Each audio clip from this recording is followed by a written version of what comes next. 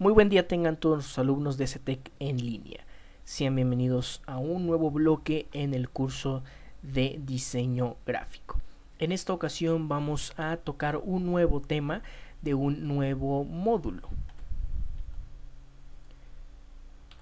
Vamos a iniciar con el programa de Camtasia Studio 8, un programa de edición de video que ya lo platicaremos un poco más adelante. Te voy a platicar primero sobre el objetivo general que tiene este módulo. El educado dominará un programa para la creación de contenido audiovisual, tales como pequeños clips, GIFs, edición de metrajes antiguos, entre otros. Al finalizar, llevará a cabo ediciones en el apartado digital y auditivo de manera profesional. durante este módulo, muchachos, será donde veremos la edición de video los que ya hemos tomado el curso de diseño con anterioridad se habrán dado cuenta que ya hemos pasado también por el área de edición de audio. En complemento con ese programa Cool Edit Pro vamos a manejar Camtasia Studio 8. Este programa es muy útil para los que no somos tan expertos en el apartado de la edición de video y que buscamos un programa que sea intuitivo y amigable con lo que estamos haciendo.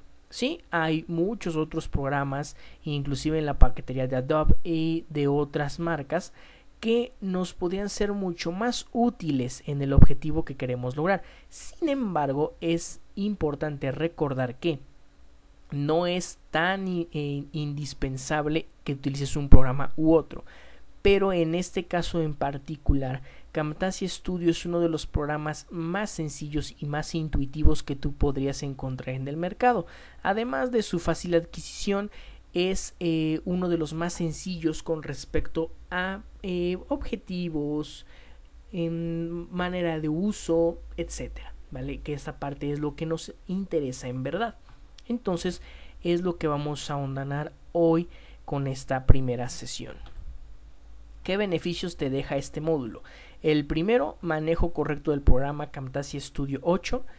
2. Elaboración de material audiovisual. 3. Correcto eh, uso correcto de gráficas y efectos especiales. 3. Eh, uso correcto.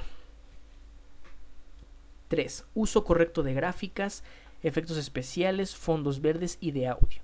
4. Un manejo complementario con Cool Edit Pro. Y 5. Desarrollo en el entorno laboral. De los beneficios, los más importantes sería el número 4, que es un, uso complementario con el programa de Cool Edit Pro.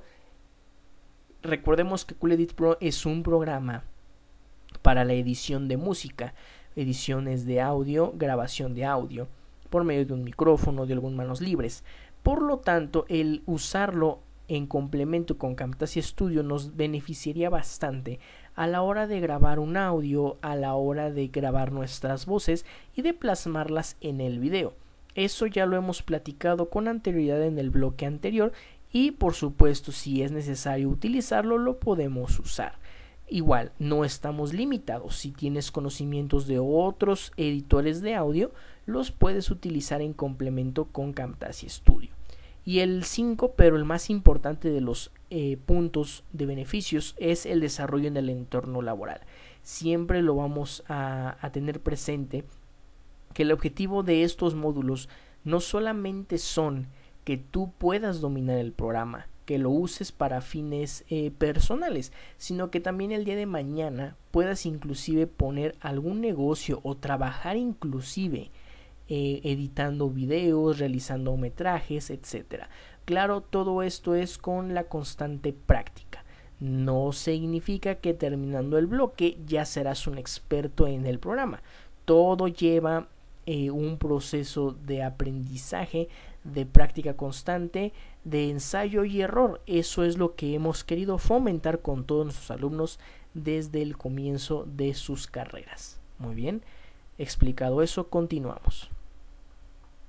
El temario que vamos a manejar, como ya lo sabes, es la presentación en este tema y la introducción al programa. También vamos a ver grabación de video. Eh, número 3, trabajo con proyectos. Número 4, trabajo con imágenes. Número 5, ajustes de video. Número 6, transiciones. Número 7, trabajo con títulos. Número 8, trabajo con audio. Número 9, plantillas. Número 10, creación de una película. Y número 11, fin del módulo. Muy bien, ese es el temario a grandes rasgos de lo que vamos a estar haciendo en este programa. Los acuerdos. El apartado de los acuerdos es más allá la forma de evaluación que yo voy a tener contigo y los aspectos que vamos a tomar en cuenta. La guía de observación que vale el 15%. La guía de observación es la que a mí me va a permitir eh, monitorear tu avance como alumno cuánto tiempo pasas dentro de la plataforma, si llevas a cabo los ejercicios, si los envías para su posterior revisión y también si vas progresando con el programa. Exámenes sumativos, el 15%. Tenemos dos exámenes a lo largo de este bloque que dura seis semanas. El bloque va a durar seis eh, semanas con sesiones distintas y por supuesto tendremos dos exámenes, uno a mitad del bloque y otro al final del mismo. Cada examen tiene un valor del 7.5 que al sumarlo nos dan el 15%. Las prácticas, las prácticas serán del 30% y solamente tendrás 5 prácticas para este módulo, cada una con su respectivo valor. Y el proyecto final con el valor del 40%, donde vas a entregar una edición final como proyecto de un tema que yo te voy a dar en específico.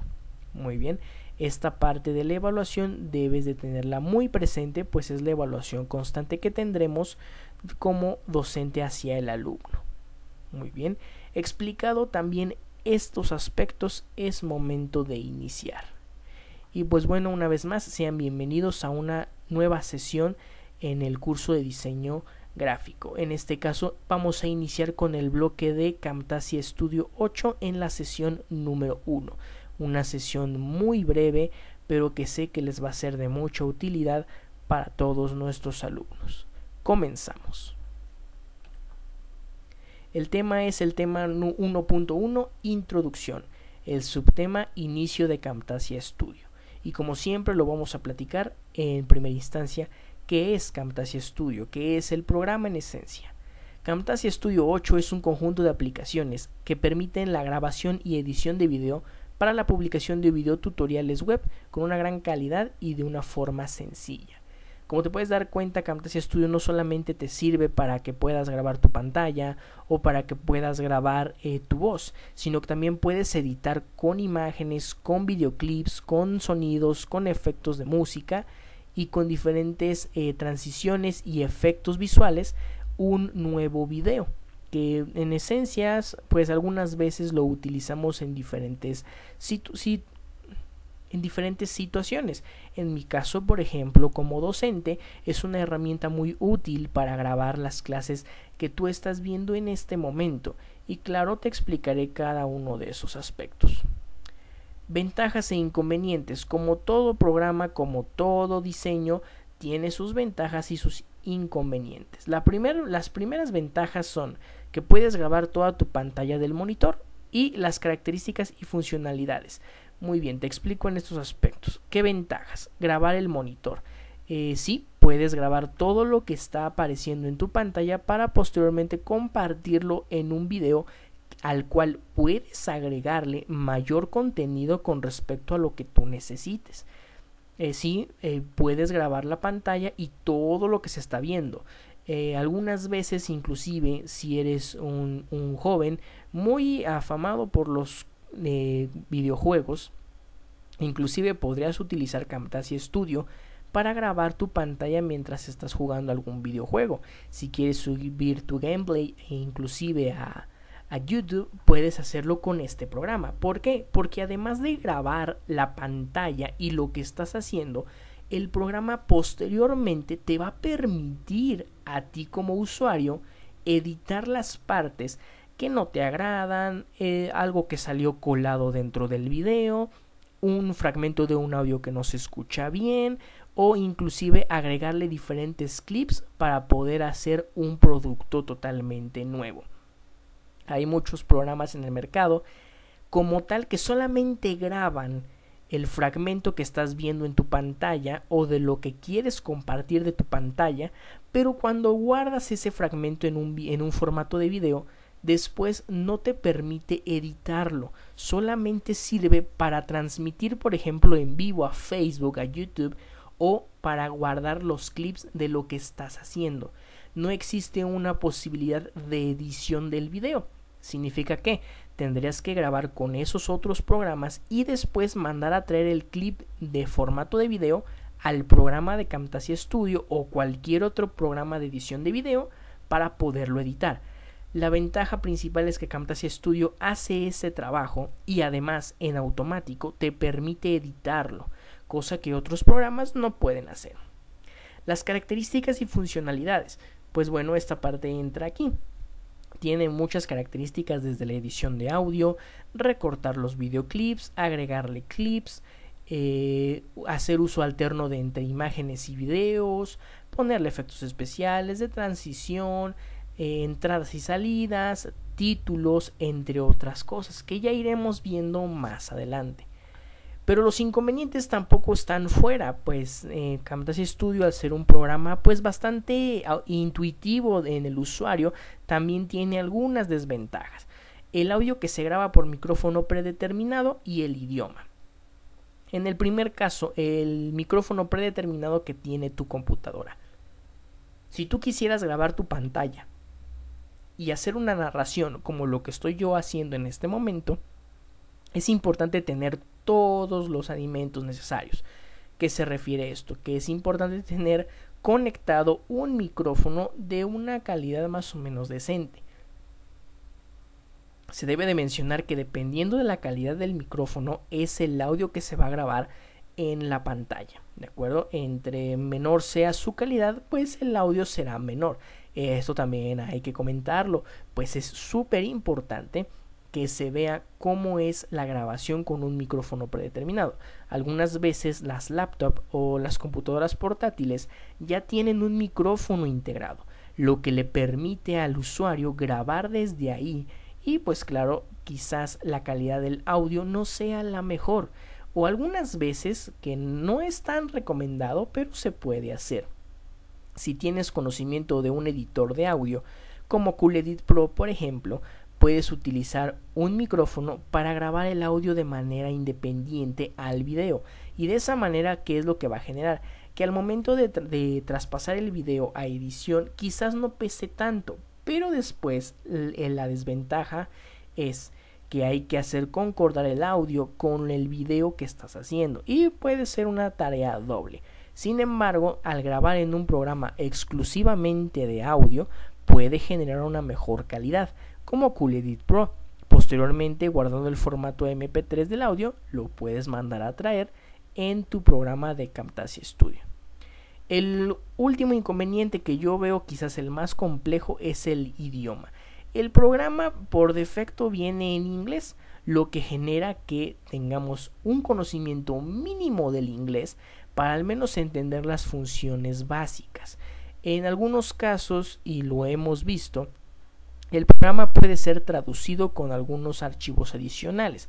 Si tú tienes la versión traducida al español, te vas a dar cuenta que hay algunos puntos que sí están traducidos, pero hay otros aspectos que vienen totalmente en inglés.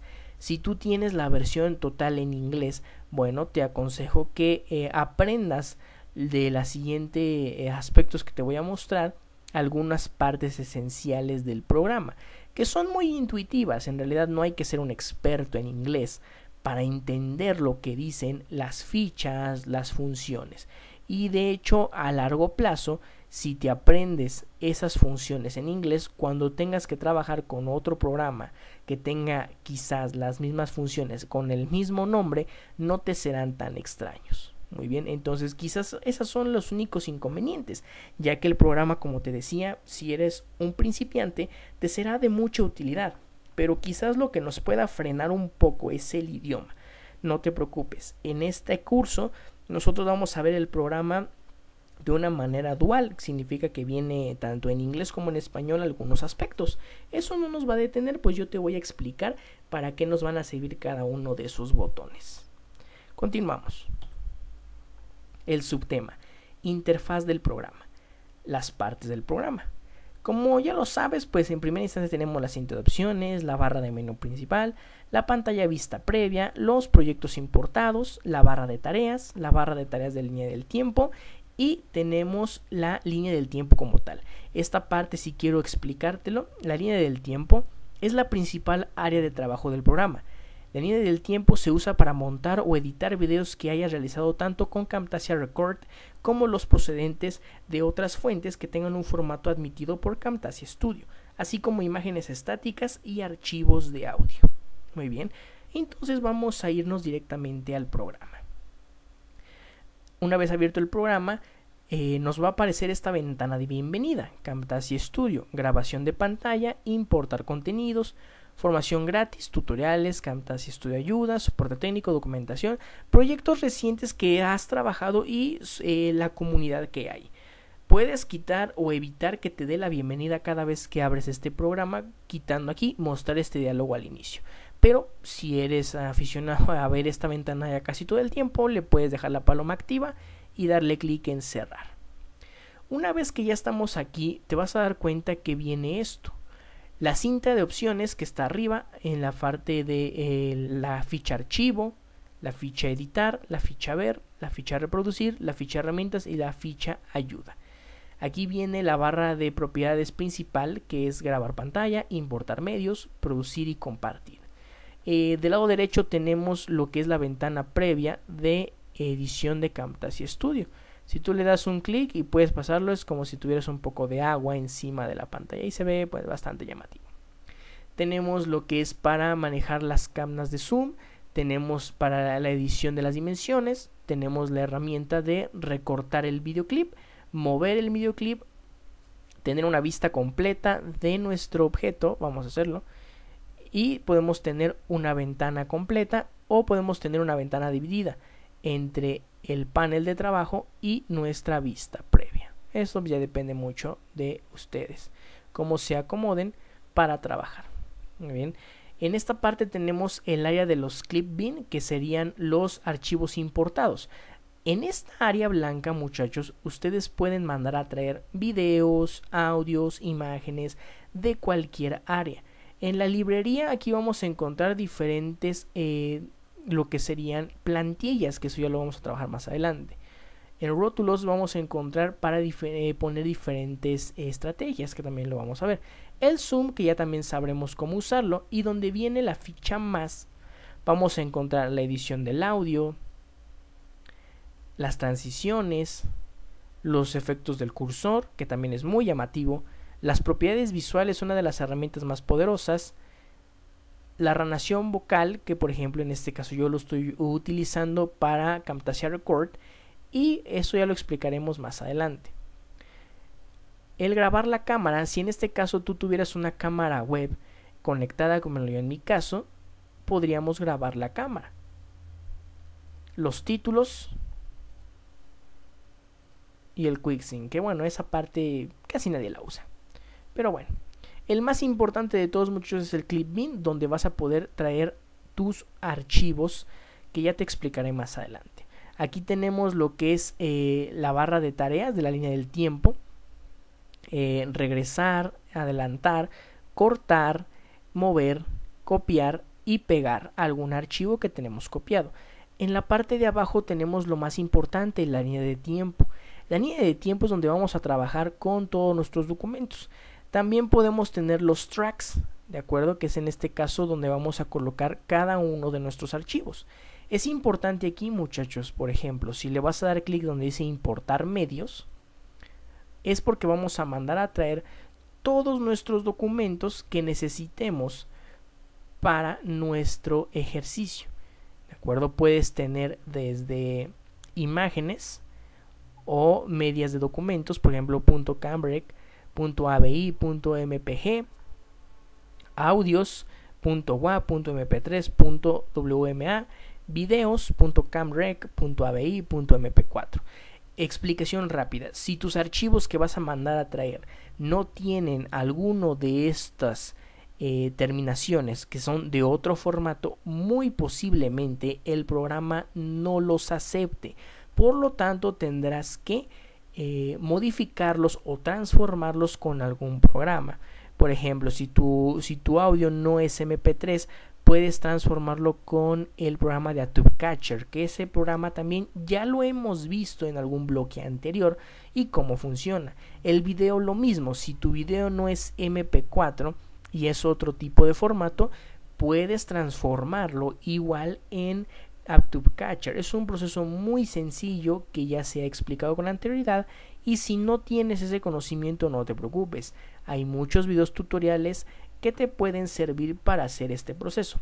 Pero de la misma forma yo voy a orientarte para que tú puedas incluir diferentes archivos en estos apartados. Muy bien, en este momento no lo vamos a utilizar, pero ya lo veremos más adelante.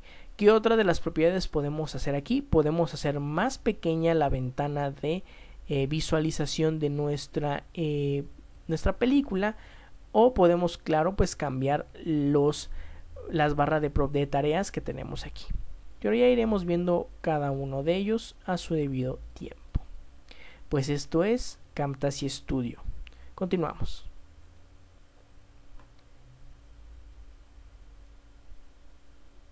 Siguiente tema 1.2 grabación de video.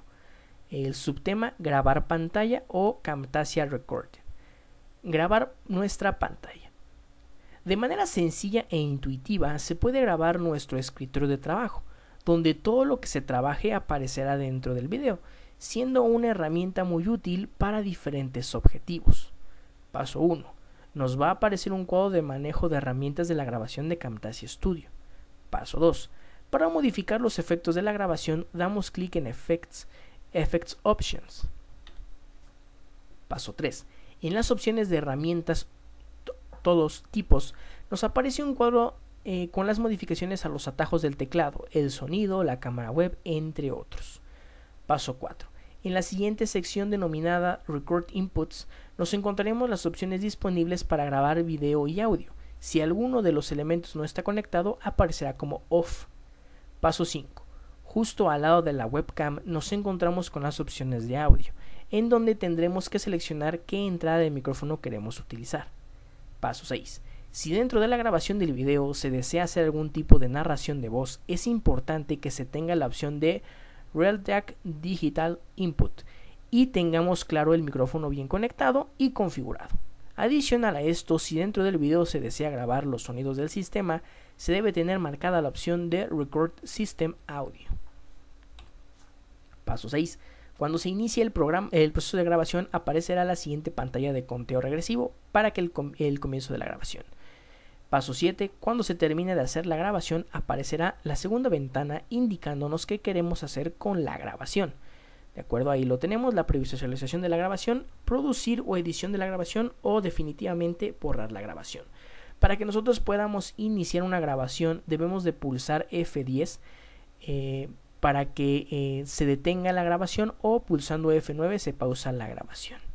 Muy bien muchachos, esta parte de la grabación de la pantalla lo vamos a dejar para la siguiente sesión, pues entenderás que en este momento estoy grabando con el programa y necesito utilizar otro programa como te había platicado para que tú puedas ver el efecto de la grabación, que sería aquí en grabar pantalla, pero eso es algo muy sencillo, además de que también te voy a explicar algunos aspectos de lo que puedes hacer en caso de que te equivoques o inclusive en caso de que quieras añadir un audio independiente a lo que estamos trabajando. Muy bien muchachos, les agradezco mucho su participación en esta pequeña sesión de introducción. Excelente día a todos y nos vemos hasta la próxima sesión.